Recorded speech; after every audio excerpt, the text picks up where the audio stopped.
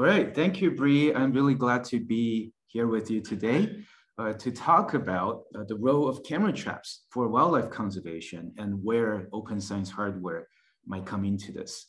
So before I got into open source communities and open source hardware and all of these things, uh, the original hat that I used to wear back in the day uh, was the hat of a ecologist uh, who does conservation work. Um, I uh, went to many places around the world to do field work. Uh, I was in South Africa for a while, which is where this picture was taken with some of my friends doing field work there.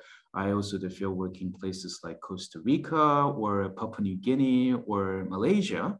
Uh, it was really fun be, being out there, right, in the wild with all of those wild animals and learning about the ecosystem of this planet. Um, now, one of the biggest projects that I worked on back in the day uh, was after the Deepwater Horizon oil spill in 2010. So this was the largest uh, marine oil spill in history.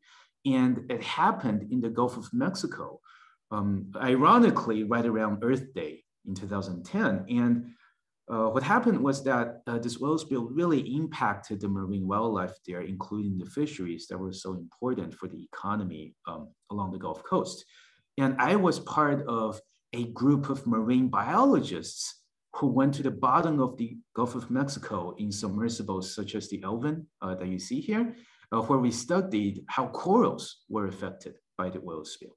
And I am starting with this because it was during this time that I gained a appreciation for uh, how our use of technology has led to a lot of harm uh, to our ecosystems, but also at the same time, how we can use technology to better understand the biodiversity that we live with on this planet, right? And I'm really excited that in the past several years, there are organizations like WILDLABS who are they're really thinking about how we can better use technology for ecological research and conservation. So um, one of the most fundamental issues uh, of today is, of course, climate change, and biodiversity is a really important part of that, right? In addition to reducing our carbon emissions, we're moving to low energy, right? In the latest IPCC report, they talked about how restoring our degraded ecosystems and conserving the Earth's habitats have an important role to play when it comes to absorbing and storing carbon uh, dioxide. So uh, when we think about the biodiversity in the world and how we quantify and measure that biodiversity, a really fundamental question is how do we estimate wildlife populations? How do we actually count the animals and know how many of them there are out there? So I would like you to keep this fundamental question in mind as I talk about the rest of um, the things I want to talk about today. So when we want to estimate wildlife populations, a very tool that ecologists use are uh, motion sensing camera traps, right? So these are really rugged cameras that you can uh, uh, put up, you know, outside in the woods or in the wild, and they have motion sensors that are triggered by animals, and the cameras would take pictures of the animals as they move in front of the camera, right? So these pictures are from MammalWeb, which is a citizen science project that I started in 2015, where people work together to capture uh, the diversity of wildlife in their local communities. And these cameras are also able to take videos, which I think are really, really cool because you can learn about, you know, not only the diversity, but also the behavior of different kinds of animals that might show up in front of these camera traps. Uh, but there are several challenges when it comes to these tools, right? The first one is that when you run a camera trapping survey, you would often get hundreds of thousands, if not millions, of wildlife photos. And traditionally, you have to manually go through every one of these photos and identify the animals that will show up. And this takes a lot of work. And I've done this before, so believe me, this is a very tedious process. Uh, fortunately, um, when it comes to technology, people are actually uh, training machine learning algorithms to automatically uh, recognize and classify the animals that will show up in these camera trap pictures. Um, another really cool work is done by Sarah Beery. So she would actually use artificial intelligence to synthesize fake camera trap images. And they will actually use these fake images to train the machine learning algorithms. And then those algorithms can be used to automatically identify animals in, in real pictures. And I think that's really, really exciting. So a lot of work is being done in this space. But the other challenge is that um, when it comes to camera traps, the question is how do we actually go from having these camera trap pictures to having a quantified measure of how many animals there are, right? Again, it goes back to how do you actually estimate wildlife populations.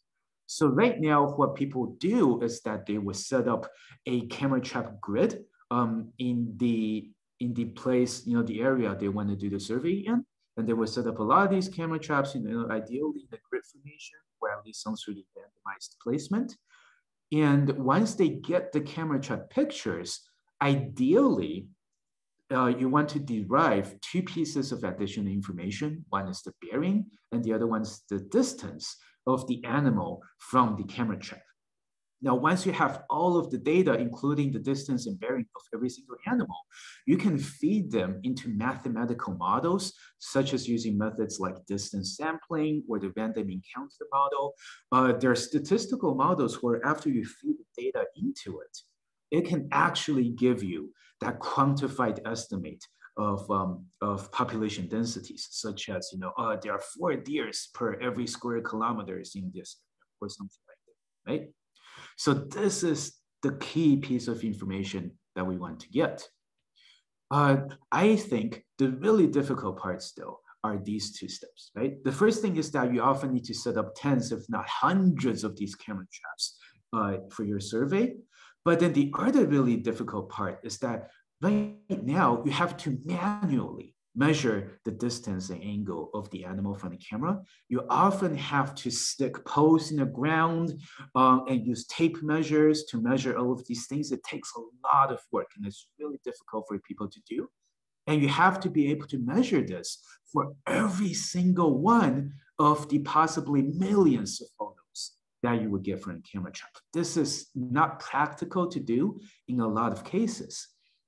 And uh, the good news is that there might be some technologies that can help us with this, right? To measure the bearing distance of the animal.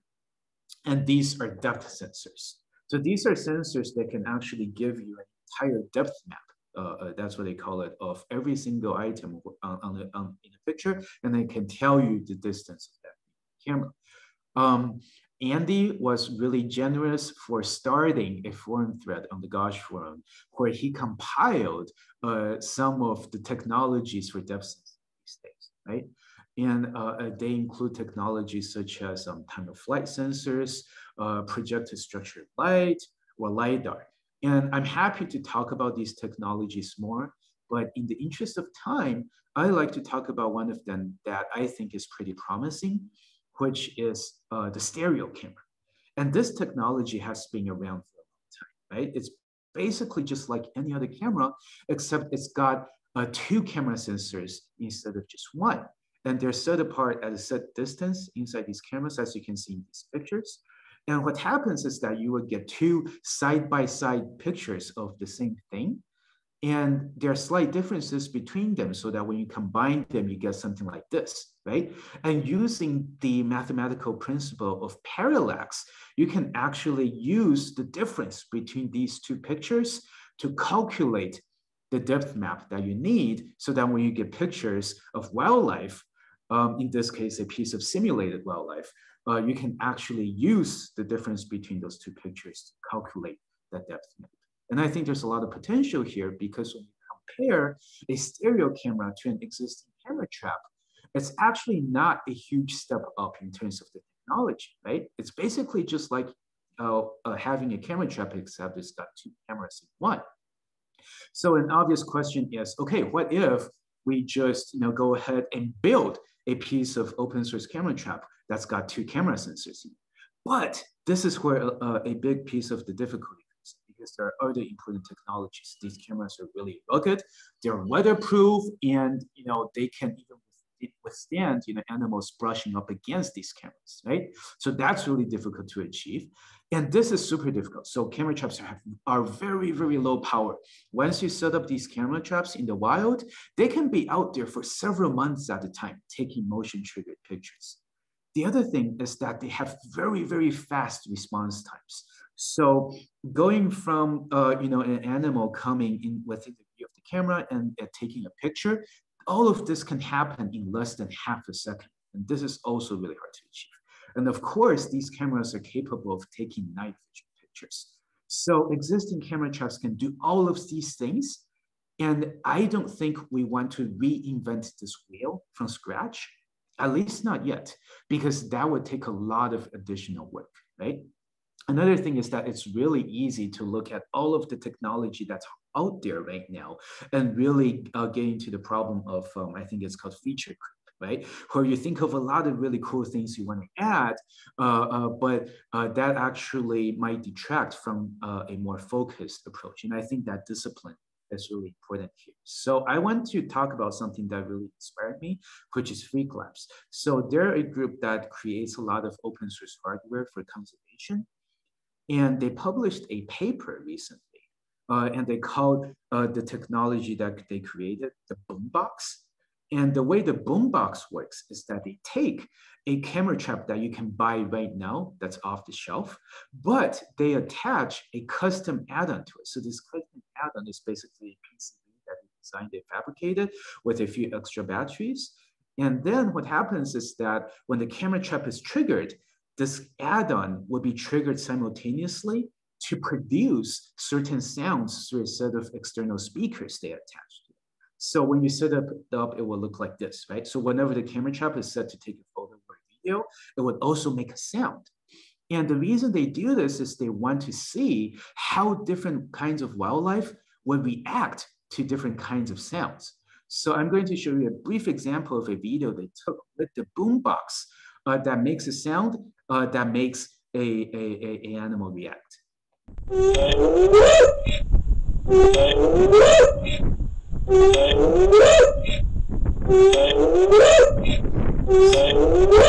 So in this case, you know, what you see is that the camera trap triggers a sound and the wildebeest in this case is scared by that sound and runs away. So they use this to study animal behavior. Now, the reason I talk about the boombox is because I'm like, what if we do something similar, right? But with stereo cameras instead. So there are some stereo camera modules that you can also buy. And I'm like, okay, so why don't we start with the boombox? But instead of speakers, what if we replace that part with stereo cameras so that we minimize reinventing wheels? And, and whenever the camera trap is triggered, we also take the stereo image along with that. So we're essentially creating a stereo camera add-on for camera traps. And I've been thinking about a plan for how to do this. And I, I think I need a lot of help with this. For example, when it comes to thinking about the components that we need, we need to think about the processing power that's needed to take a picture like that and save it within half a second of the camera trap being triggered. Is an Arduino enough? Is an ESP32 enough? Is that it, because it also has to be really low power, right? The other thing is that what kind of sensor modules are out there? uh, what kind of spatial resolution can we achieve with this kind of stereo camera systems? Is it enough to measure how far an animal is away from the camera and its angle? And how do we keep the timing right so that everything is synchronized, right? And I think I also really need help for the hardware integration that comes with this so that we can at least make maybe five or 10 of these modules to camera traps that we can field test and when it comes to field testing, we want to do it in a real place with real world animals. So where can we do that? And I would love to get your feedback on where we can actually do something like this. And of course, how do we get support for financing uh, uh, the, the, the, construction of these modules and also in terms of uh, the time that people can put into. So what I can do is that because uh, I, I, I, speak the language of the open source hardware community, but I also have a ecology background. So I know the kind of data that's needed to be fed into the mathematical models to produce the estimates of the wildlife populations. So I, I would really love to pose something like this together, but I need your help, right? Again, like I said, in terms of um, thinking through the hardware that's needed, designing it and fabricating it, and whether and figuring out whether stereo cameras are even the best idea. And also, of course, your help in terms of finding a place to field test this stuff. So I would love to get your feedback on all of this and to just, you know, get your critique on whether this is just a completely infeasible idea or not. Or maybe if it's a good idea. But anyway, that's what I have for you today, and I hope to uh, chat to you more. And I would just really love to thank Andy and Laura for the discussions we had so far uh, in terms of coming up with this. Thank you.